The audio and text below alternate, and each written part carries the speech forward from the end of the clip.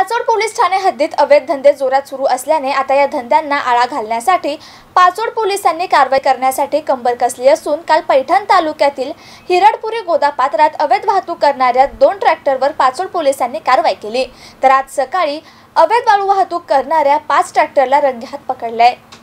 आज सकाळी पैठण तालुक्यातील दाबरवाडी येथील वीरभद्र नदीत अवैधरित्या वाळूची चोरट्या मार्गाने वाहतूक करत असल्याची भनक पाचोड पोलिसांना लागताच पाचोड पोलीस स्टेशनचे सहाय्यक पोलीस निरीक्षक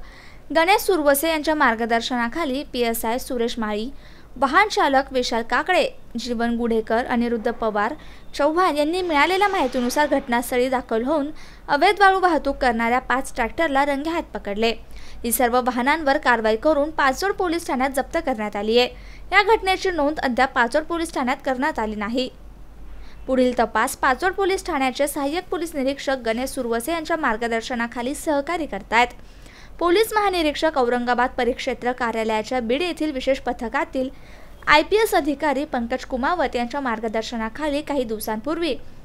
तीन दिवसांच्या कारवाईत पाचोड पोलीस ठाणे हद्दीत अवैध धंद्यांवर कारवाई करत लाखो रुपयांचा महसूल शासनाच्या तिजोरीत प्राप्त केला आहे तर पैठण उपविभागीय पोलीस अधिकारी डॉक्टर विशाल नेहुल यांनीही चार दिवसांपूर्वी याच ठाणे हद्दीतील घारेगाव येथील सुकना नदीमध्ये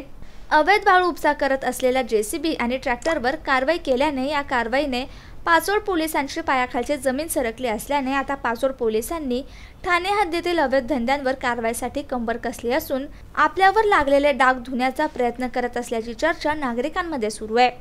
Siddharth Magar M news Pachod.